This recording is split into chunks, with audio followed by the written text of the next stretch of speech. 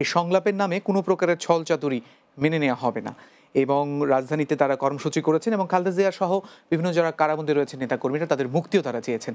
এই বিষয়ে আমাদের আরমান কাইসের একটি রিপোর্ট আছে আমরা সেটি এখন একটু দেখে নেব।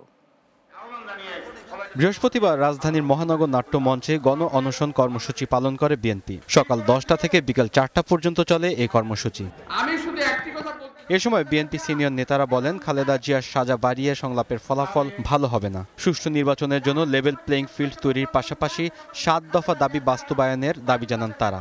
নির্বাচনের পরিবেশ সৃষ্টি করার জন্য যে সংগ্রামের আয়োজন, কিন্তু সেই আয়োজন, সেই পরিবেশ তো নষ্ট হয়ে করে করে দিয়েছেন।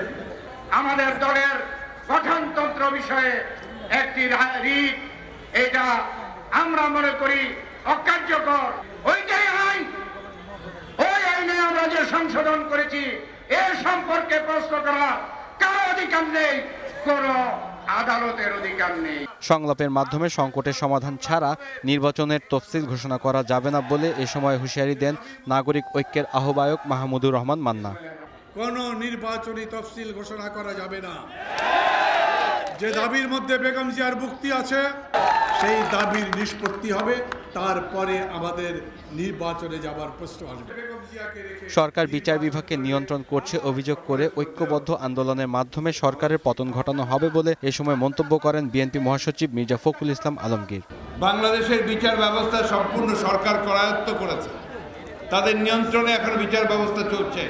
এটা প্রমাণ গত দুই দিনে দেশনেত্রী বেগম খালেদা জিয়ার এই রায়ের ব্যাপারে সেটা প্রমাণিত হয়ে গেছে।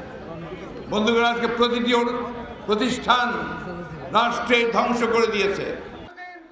আগামী নির্বাচনের আগে খালেদা জিয়া সহ সকল রাজবন্দীদের মুক্তি দেয়া না হলে আন্দোলনের মাধ্যমে রাজপথে সমস্যার সমাধান করা হবে বলে হুঁশিয়ারি দেন নেতারা। আরমান কায়সার, বাংলা টিভি, ঢাকা।